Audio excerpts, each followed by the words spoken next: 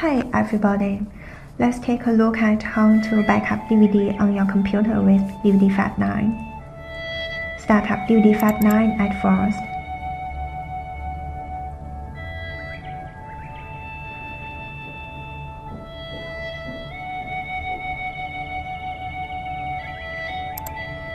Go to copy option. You can use main movie mode to copy the main movie title or use full disk to backup all the disk content. Here we are using full disk mode for example. Just insert the DVD disk to load it in for backup.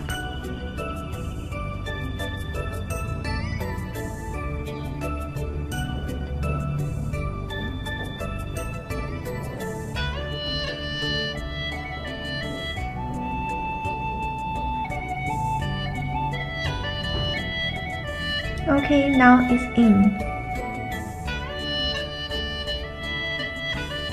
As the output, you can choose DVD 5 for a small size or DVD 9 for a full quality.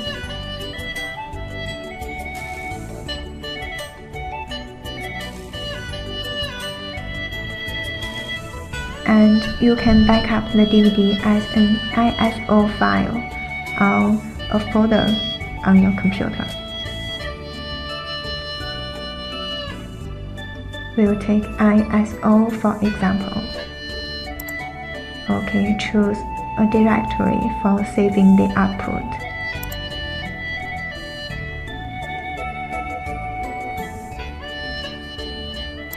Okay, now everything is okay.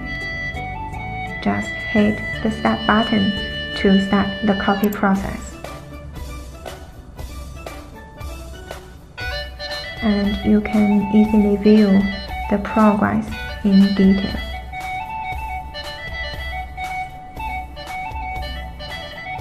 And if you'd like, you can set to exit the program on auto shutdown when the task is completed.